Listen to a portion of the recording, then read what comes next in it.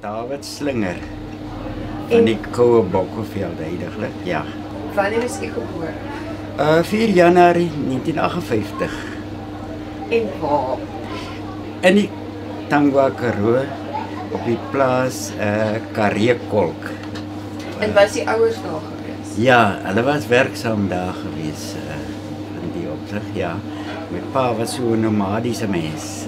Uh een helfte van die van sy werk was in die Tangwa Karoo. Dit is deels uh skeerwerk uh en die ander deel was hy in die Bokkeveld uh waar hy elke jaar by iemand gaan werk op op plaas tot einde Mei, middel Mei so. Dan het hy weer teruggekom na die Tangwa Karoo want dan was dit skeertyd geweest. Wat was sy naam gewees? Maar Lodewijk, Lodewijk het my ma is Magrieta gewees. Sy leef heidaglik nog. Sy's nou 89. O, oh, maar dit gaan nie goed met haar, maar okay. So. Nou sê vir my die werk wat hy gaan doen het op die plaas, wat was dit gewees? Uh As hy nou en- as hy as hy weg was by die skeertyd. dan was dit vrugtetyd in die vrugtebedryf uh daar in die Bokkeveld. Uh onder Bokfontein was die plase dan waar hy elke jaar vir die Detoits gaan werk het. Hulle het so sterk band van verhouding gehad as dit by werk kom uh in die opsig.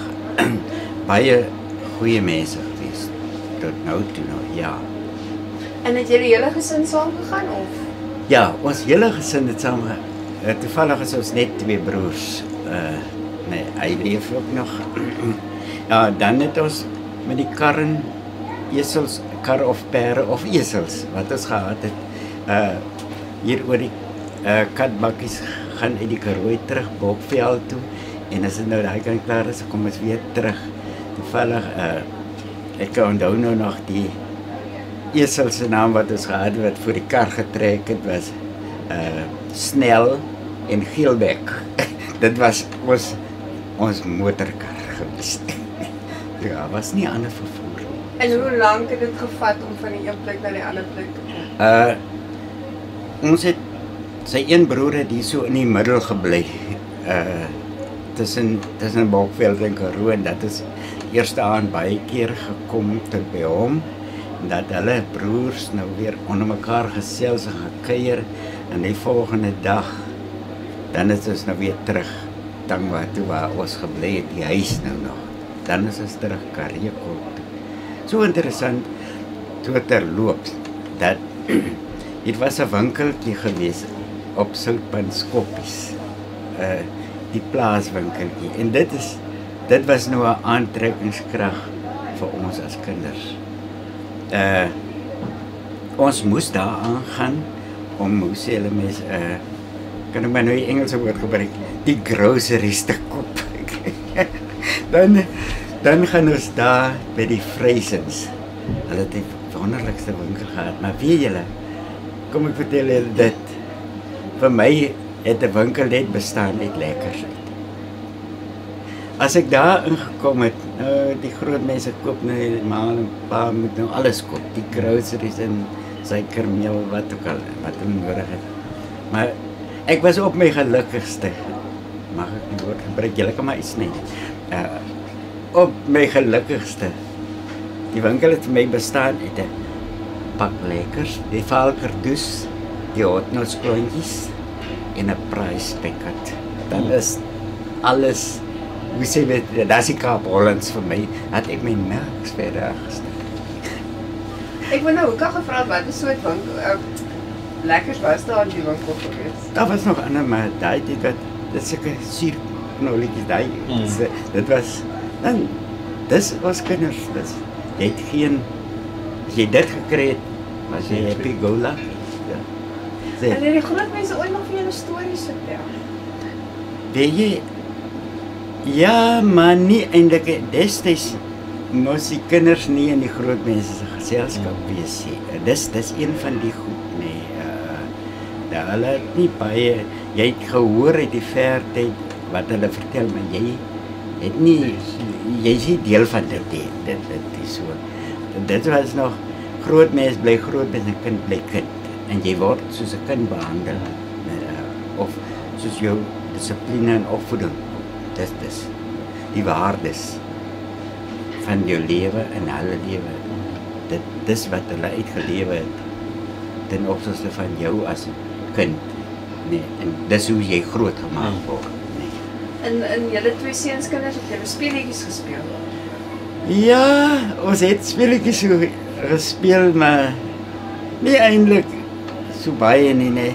Onthou net die, die een was 'n makind en een was 'n pakind. Jy verstaan wat ek bedoel ja. Julle sê verduidelik vir my. Die makind het die ma saam met die ma by hoe Ja ja, baie meer gekommunikeer met ma.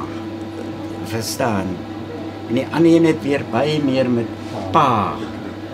Nou ongelukkig was ek nie makind gewees. Regtig uh, so. Maar dis dis wonderlike dinge gewees. Uh, werklik waar uh, ons het moeilik groot geraak. Ja. Met uh, as daar nie brood is of so nie, gaan jy vat wat daar is. Uh kan ek julle een storieetjie vertel nê nee? by by ma kan uh tradisie. Nee, is dit. Die groot mense het geglo een keer per maand is daar dat jy met maag skoon maak. En dan gaan jy per ga, hoe sê jy pergasie kry. Ah. En dit daai dit was dit net kasterolie. Maar wie het 'n wonderlike triek met ons gehad? sy het soggens vir ons koffie en brood gegee. Nou sit sy nou vir ons koffie en brood, nou breek sy die brood in die koffie in en dan gooi sy die kasterolie binne in die koffie en brood. En jy weet dit nie. As jy ontdek met jy hart toe. En toe net daai tyd was hy nie eens buite toilette nie. Jy moes veld toe gaan. Bossies toe.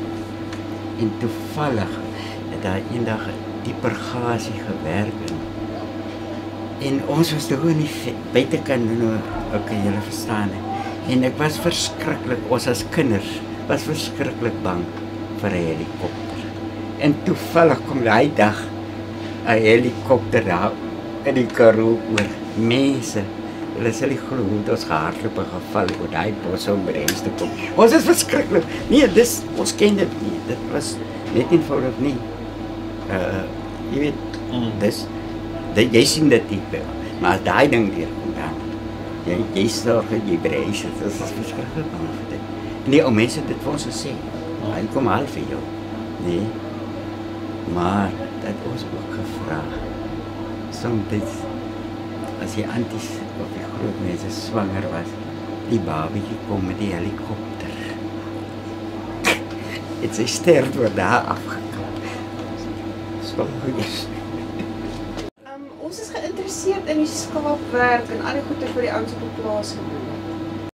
Uh skaapwerk is 'n baie interessante werk. Soos destyds, soos ek dit ken. Nee.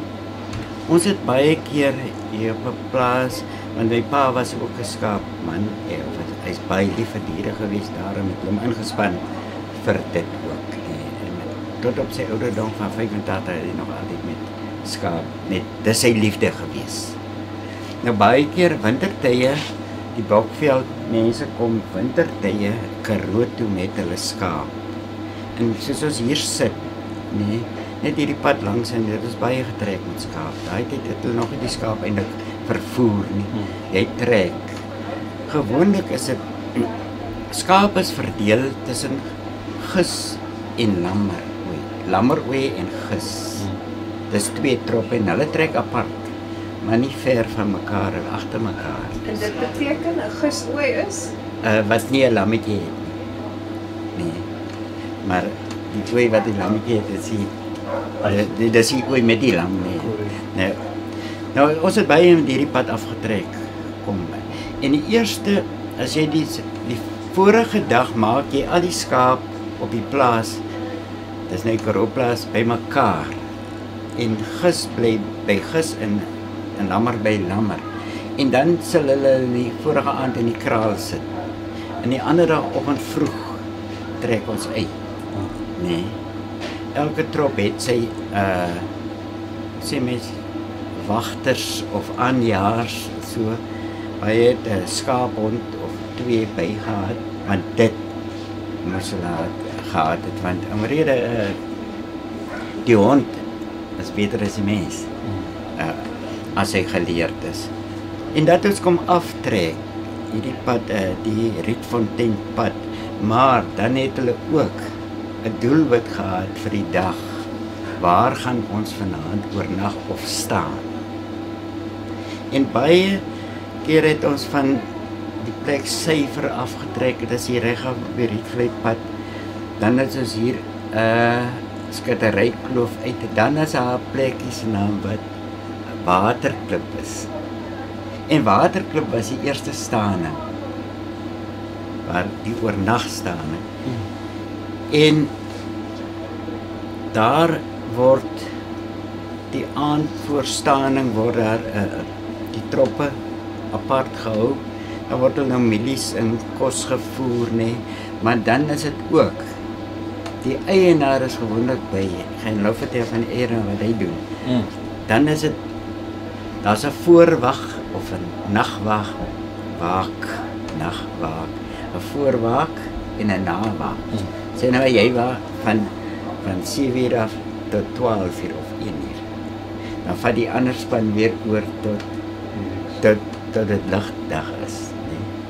Nee. Hulle waar met hulle geloop met lanterns. Oh. Die skaap om hulle. Want baie keer is uh staan die skaap in die nag op en hulle loop hulle. Dit mag nie want die jakkalse is bedrywig of so. Nou baie baie keer het ek saam met hulle getrek en ek het self ek het agter my pa se rug gelê en dit pa na nag moes doen moes ek alleen lê daar so in die veld so buitekant of so. Maar dit was wonderlik geweest. Ek het niks daarvan oorgekom. Dit is 'n ervaring geweest. Op 'n dag stap ek saam met die skaap, help jag aan. Maar nou as kind hou jy mens nou nie by is soos pa en die ander nie. Dan het ek altyd op die eienaar op as Jan die twee se bakkie geklim en uh, daar ry ek weer in saam en so. Uh, Maar die wonderlikste van daai uh, trek was dat hy het altyd gesorg vir sy mense. Wonderlik, nee. Dat hy tradisie was. Hy kook boontjies op met varkspek.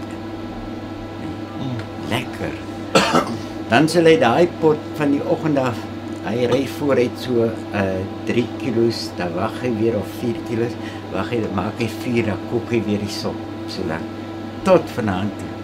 As dit as dit as dit by staan plek hmm. om oornag plek dan is daar net so groot pot puntjie sop die mense kon eet hmm. brood en wat ook al so dit is dis dis een van daai tradisies wat ek baie onthou uh, die mense het nooit honger gehad slaap uh, op die trek die trek wat ek van praat het so min of 3 dae geduur ek wou nog gevra hoe lank. Hmm. en um nou bietjie weg van die skaap af toe jy klein was, was daar nog karretjies mense gewees.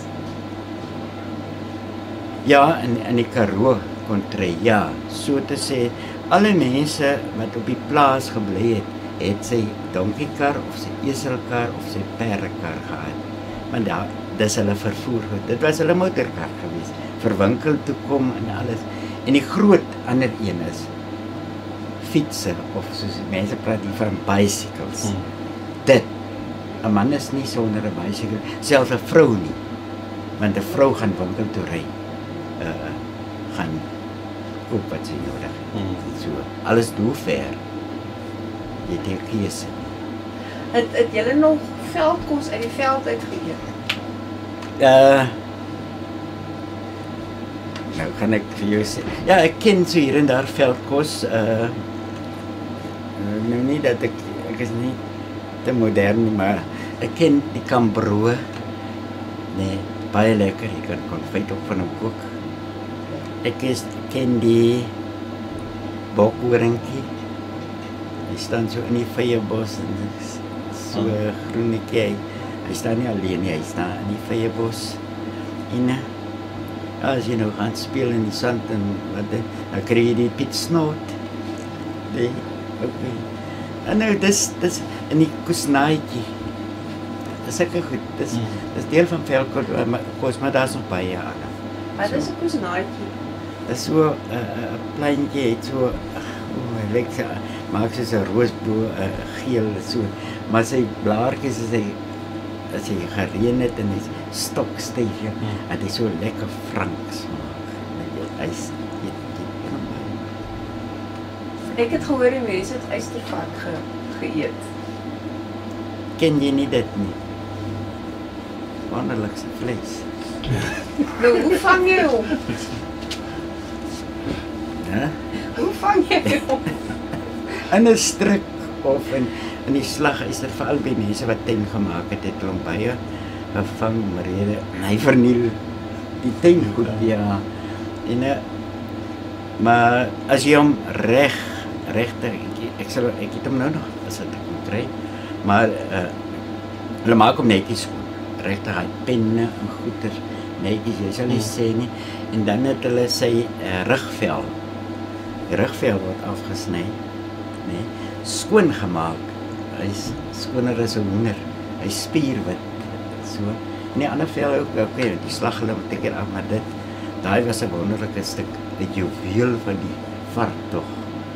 Omrede as jy vir hom skoon gemaak het. En uh, jy laat hom so windroe so het my oom dit altyd gedoen. Dit is kom ek weet hoe smaak hy. Mm. En dan het hy hom uh ophang, die windroe. Ek weet nie, jy weet wat windroe is.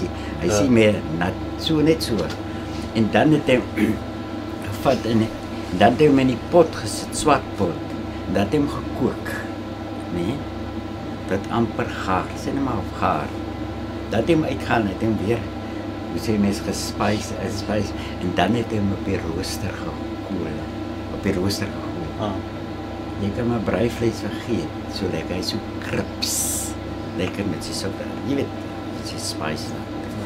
Wonderlik. Sy vleis, wonderlik. Smaak net so. Uh, as jy hom reg hanteer of reg uh, ja, reg kook en alles so. ja. Nou baie dankie. Is daar nog iets wat u vir ons wil vertel het as jy terugdink aan daai dae? Ek het nou Ja. net vir iemand gevra hoe dit verander van toe af na nou. Uh As 'n mens dink die Ja. grootste verandering. Ja, baie baie meer mense neig meer nou na moderniteit. Uh, uh,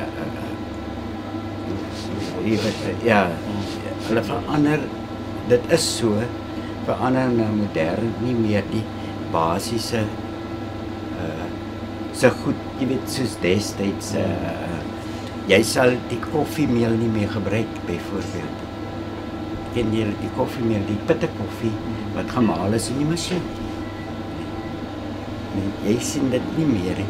Ons kry vandag net fyn koffie. Uh, dit dit het uitgesterf. Jy weet, uh, baie van die tradisies het, het uitgesterf. Maar okay, gaan jy laat dit iets anders vertel. Uh, maar wie julle ons soos ek hier oorgekom het nou is ons baie baie uniek. Ons het 'n unieke plek in die Weskaap.